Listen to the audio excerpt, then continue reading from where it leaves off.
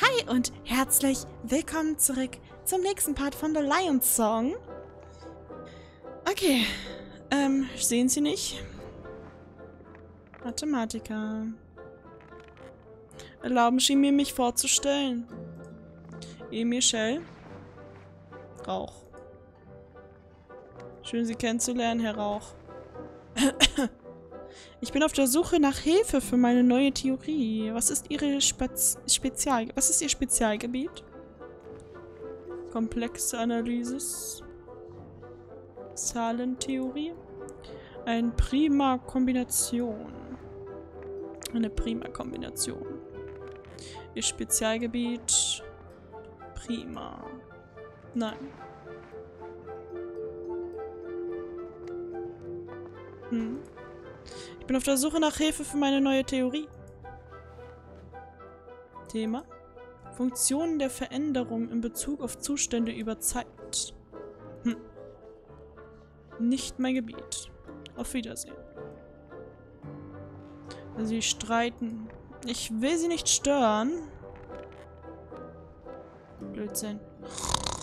Oh.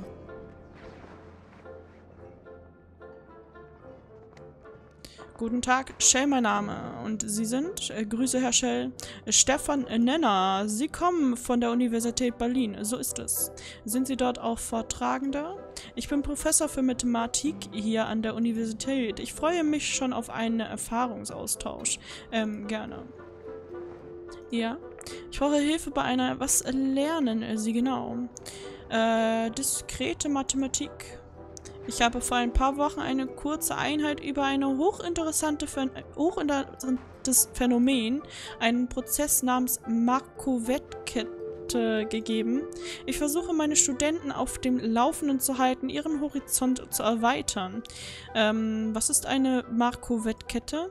Ähm, gut, dass Sie fragen. Niemand hier scheint mehr daran interessiert, neue Theorien zu diskutieren.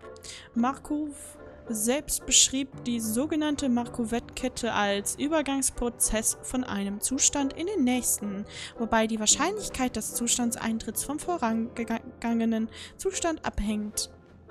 Hm. Stellen Sie sich einen Betrunkenen vor, der einer nummerisierten Linie folgt. Mit jeder wack wackigen, äh, wackeligen Schritt bewegt er sich entweder eins nach vorne oder eins zurück. Also der nächste Schritt oder Zustand hängt von seiner derzeitigen Position ab und nicht davon, wie oder wo er darauf getorkelt war. Genau. Überaus interessant. Ich hätte da eine Frage zu den anderen Mitgliedern. Was wollen Sie denn wissen? Ähm, wer ist der Schläfer da in der Ecke?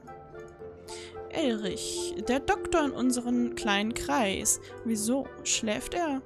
Erst war er kaum merkbar. Er nickte einfach einmal ein, ohne dass es jemand merkte. Mittlerweile scheint er so hier wohl zu fühlen, dass er hier jeden Nachmittag schläft. Er ist schon so lange hier, es kümmert uns schon gar nicht mehr. Die zwei Streithähne. Nick und Wurm. Wie bitte? Das sind die beiden. Der linke lange, da ist Nick Kick, ein Gastprofessor aus Belgrad. Die sch scheinen sich nicht besonders zu mögen. Keine Sorge, die streiten nur viel. Worüber? Mathematik natürlich. Rauch scheint mir recht einsilbig ist er nicht immer. Er ist sogar äußerst brillant. Brillant, aber furchtbarer Lehrer. Aber das haben Sie nicht von mir. Wissen Sie was über Zähler? Was wollen Sie über ihn wissen? Ist, der, äh, ist er der Gründer des Radios? Ja, er, Elrich und Rauch sind die Grund, Grund Gründungsmitglieder. Wie kam es zur Gründung? Nun, soweit ich weiß, suchte Zeller nach ebenbürtigen Geistern. Elite-Mathematiker, die besetzten, äh, Elite-Mathematiker, die Besten der Besten. Er wollte sich zu mathematischen Ideen und Themen austauschen. Die Ideen kamen ihm wohl, als er von der Gesellschaft in London hörte. Wien brauchte sowas natürlich auch. Die Kaiser fand daran Interesse und er begann den Radius zu finanzieren. Unter der Bedingung regelmäßig mathematische Fortschritte. Elrich, Rauch und andere waren schnell Mitglieder geworden. Und mit der Zeit kamen Wurm, Nick und schließlich Nikik und schließlich ich dazu. Ich brauche Hilfe bei meiner Theorie. Worüber arbeiten Sie? Funktionen der Veränderung. Ich beschäftige mich mit Veränderungen befindlichen Zuständen in solchen Funktionen. Faszinierend. Aber ich wäre Ihnen wohl kaum eine Hilfe. Mein Fokus liegt in der diskreten Mathematik. Nicht bewegliche Teile, so, äh, konstant äh, Systeme. Vielleicht kann Ihnen eines der anderen Mitglieder helfen. Aber diese Markov-Kette, von der Sie geredet, er gerade erzählten, das ist doch genau das, ein Prozess der Veränderung. Bloß weil mein Fachbereich diskret Mathematik ist, heißt es nicht, dass ich mich nicht an jeglichen mathematischen Gedanken versuche. Mit Variablen geraten des Erfolgs. Hahaha. äh, bis später. Bis dann, Shell. Ha, ich habe was gefunden. Ah, Shell. Ähm, was ist Ihr Spezialgebiet? Sagen's. Kennst vielleicht für, äh, Vortragende der Universität Berlin? Sind's mit ihnen in Kontakt? Ähm, mit manchen. Ich bin immer so beschäftigt mit... Äh, aber mit... Was? Kennst einen Robert Koch? Ich frag nur, weil... Ach, unten wichtig. Na, kennst ihn? Tut mir leid, nein. Oh, schade. Robert Koch. Ich sollte den Namen einmal nachschlagen, wenn ich die Zeit habe. Vielleicht wird es noch wichtig, um meine Liste aufrecht, äh, List aufrecht zu erhalten. Robert Koch. okay. Äh, ich würde gerne über meine Theorie sprechen. Lehren Sie an der Universität, wo... Ich habe selbst an der Berliner Universität studiert, unter dem großartigen Karl Wernstraß höchstpersönlich. Ein hochbegabter Mann. Und ich natürlich, sein bester Student. Da waren auch noch andere. Uff, diese Russinen. Welche Russ... Sie dürften nicht einmal Gasthörerin sein. Sie durfte nicht einmal Gasthörerin sein. Ach, genug davon. Sie kennen äh, Weierstraß bestimmt. Nennt's ihn doch äh, nimmer Vater der modernen Analysis. Weiserstraß, ich sollte mehr über meine Kollegen in Berliner, Berlin Erfahrungen bringen. Ja, aber Sie sehen, ich bin äußerst vorsichtig bei der Wahl der Mitglieder des Radios. Ich würde gerne über meine Theorie sprechen. Ich. Sie sind also Professor an der Universität Berlin? Nun, ich. Natürlich sind Sie das. Aber wohl neu dazugekommen. Also eigentlich oder eine Aushilfe? Herr Zähler. Was, was ist los? Ich würde mich gerne mit Ihnen über meine Theorie unterhalten. Na gut. Lass uns hören. Funktionen der Veränderung mit Bezug auf Zustände über Zeit. Ähm, interessant. Klingt wie die Theorie, an der ich arbeite. Wie dem auch sei. Ich kann mich nicht mit ihren, ihnen ablenken Wirkungen beschäftigen. Ich muss mich um meine eigene Theorie kümmern. Aber bitte fragen die anderen Mitglieder. Die Herausforderung wird ihnen gut tun. Ja, das habe ich doch gerade eben schon. Ja, ja. Bis später. Bis dann, Shell. Gucken wir mal, ob wir den aufwecken können. Oh, nee, sieht nicht gut aus. Hm, auf Wiedersehen. Okay. Well, das hat mir sehr, sehr viel gebracht. Um Himmels Willen. Oh, warte, eine Eingebung, was? Ähm, nein. Nichts, gar nichts. Oh, äh, schade. Die Umrisse eines Hinterteils recht eindrucksvoll. Shell, was finden's so interessant an meinem Sessel? Ach, nichts. Sie müssen... Das Ergebnis äh, ergibt keinen Sinn. Kann ich jetzt mit denen reden? Sie streiten immer noch. Okay.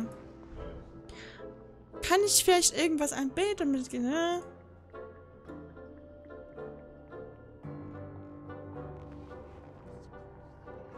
Hm. Hm. Kann ich vielleicht noch mal mit der Tafel interagieren? Nee.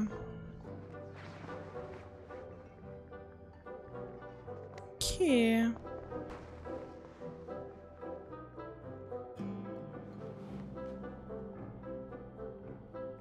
Hm, ja gut. Also ich glaube, ich kann hier nichts mehr machen.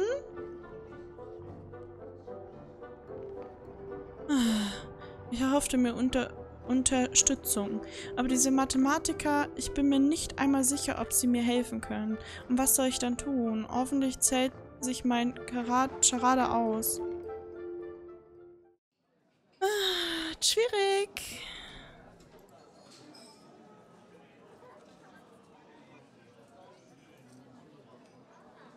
Schwierig, schwierig.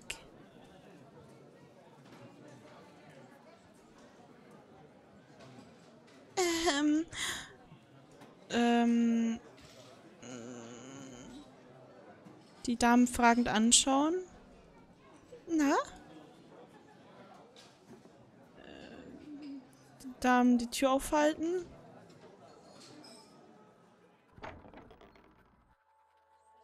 Danke, dass Sie uns die Tür aufhalten. Ich nehme an, Ihr Aufenthalt im Radius war genehm? Hätte ich mich nicht erinnert, wie man sich einst mir gegenüber verhielt, hätte ich es jetzt nicht imitieren können. Veränderung passiert über Zeit. Ich verstehe leider nichts von Mathematik. Sie haben recht. Es ist Mathematik. Äh, wie heißen Sie? Maximilian, mein Herr. Maximilian, ja natürlich. Maximilian, Sie sind ein äh, Genie. Wenn nur meine Eltern das auch so gesehen hätten. okay. Spiele es gemein zu sich selbst.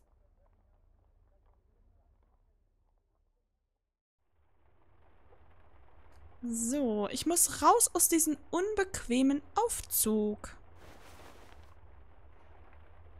Schnell jetzt. Ich muss es aufschreiben.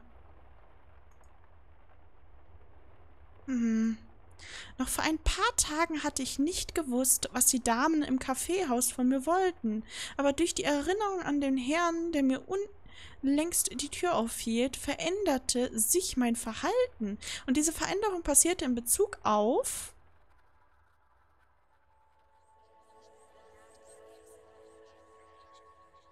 Ähm... Ähm... Ich, ich weiß nicht, was die Buchstaben heißen. Ich drücke einfach Distanz. Nein, das ist es nicht. Denk nach, Emma. Die Veränderung passierte in Bezug auf, äh, keine Ahnung, auf Zeit. Jede Veränderung passiert über Zeit. Das ist es. Natürlich. Das ist es. Hm?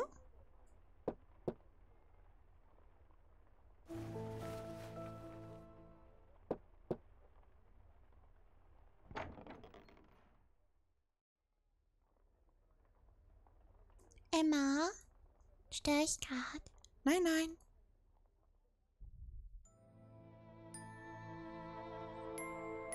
Heute schaust du viel glücklicher aus. Heute bin ich glücklicher, Nicole. Wie geht's dir? Wie immer. Mir geht's immer gleich. Sind deine Eltern wieder... Oh, verdammt. Nein, jetzt gerade sind's in Schweden. Nicole! Zeit für deinen Geschichtsunterricht. Geschichte. Ich hasse Geschichte. Die ändert sich nie.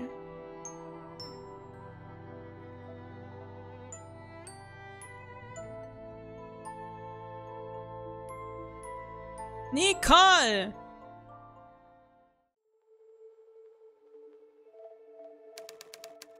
Tage später.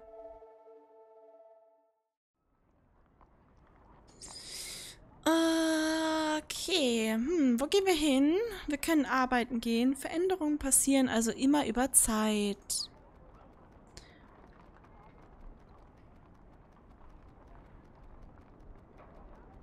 Hm.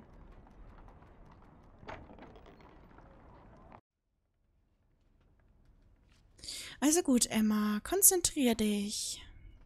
Jede Veränderung passiert über Zeit. Um also einen Zustand in dieser Veränderung zu erhalten, muss ich wissen, warum sie passiert. Muss ich wissen, wie sie sich verändert. Muss ich sie verlangsamen? Muss ich wissen, warum sie passiert oder nicht? Hm. Wenn ich das so versuche. Nein, zu allgemein. Versuche was anderes, um einen Zustand in einer Veränderung zu erhalten. Haben Sie Freuds der Witz und seine Beziehung zum Unbewussten? Natürlich. Sollten es in der Psychologieabteilung finden können. Und wie sieht's, steht's mit, ähm, ach ja, drei Abhandlungen zur Sexualtheorie?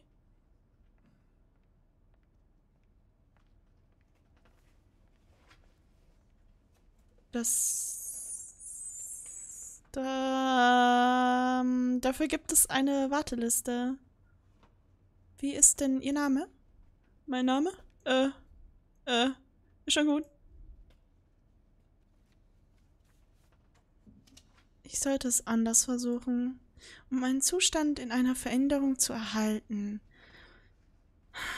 Muss ich sie verändern, äh, wie sie sich verändert?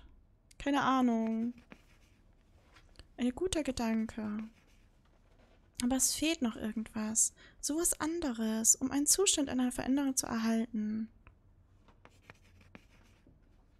Ja, wie geht's Ihnen heute, Frau R? Kaum zu glauben, Herr Wittgenstein. Ich habe das von Ihrem Vater gehört. Mein aufrichtiger Beileid. Ähm, danke. Sie sind zurück aus Manchester?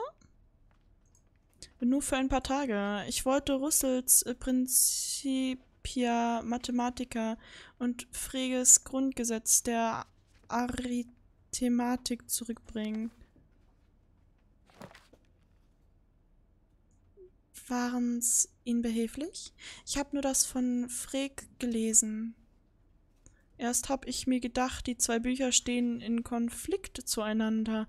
Im England habe ich's immer und immer wieder gelesen. Ich hatte so schon beinahe aufgegeben.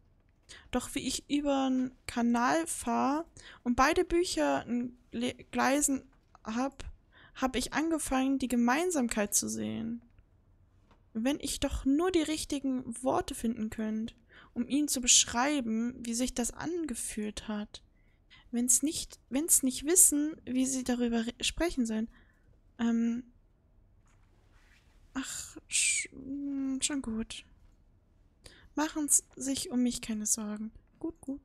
Auf Wiedersehen. Auf Wiedersehen, Herr Wittgestein. Sein Denken hat sich durch seine Beobachtung verändert. Erst war er zu nah dran. Aber später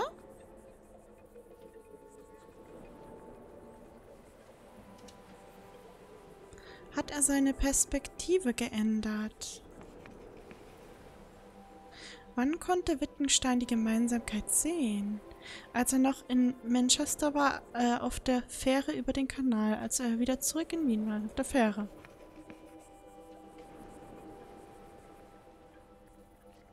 Das war's. Seine Wahrnehmung hat sich während der paar Stunden zwischen Dover und Kailes geändert. Eine Veränderung kann nur in einer bestimmten Zeitraum beobachtet werden. Ich muss nach Hause. Äh, Lokius Oberwandig. Äh, um das aufzuschreiben. Ich werde so schnell weg. Ich werde sie schnell wegräumen.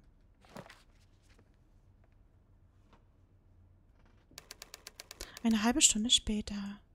Ich bezweifle, dass er irgendwas davon versteht. Gut, dann gehen wir. Zurück nach Hause.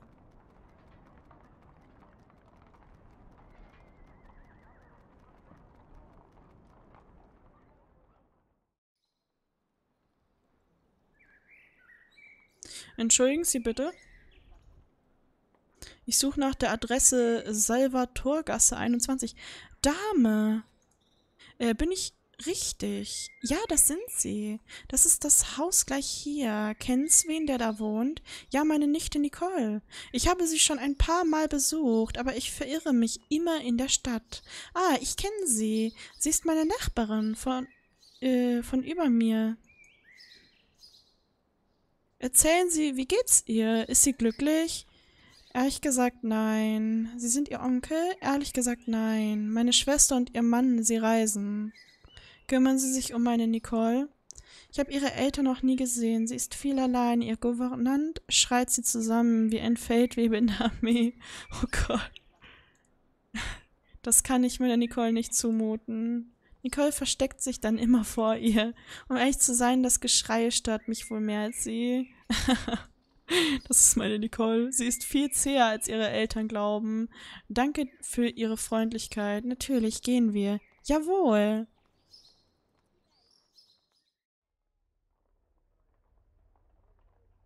draußen. Die Welt ist Mathematik. Welche Überraschungen werden mich heute erwarten? Hm. Wittgenstein Überlegene ändert, ändert, Überlegungen änderten sich. Was? Was ist das? Er beobachtet die Veränderung in einer gegebenen Zeit, in einem gegebenen Zeitraum. Eine Veränderung kann nur in einem gegebenen Zeitraum beobachtet werden. Natürlich. Ich kann das fallende Blatt nur sehen, während es fällt. Zeit, den Radius zu beeindrucken.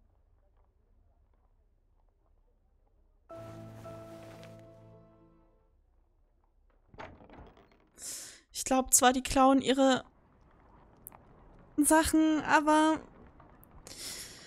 let's see. Ähm, ich würde sagen, wie es weitergeht, seht ihr im nächsten Part. Bis dann und tschüssi.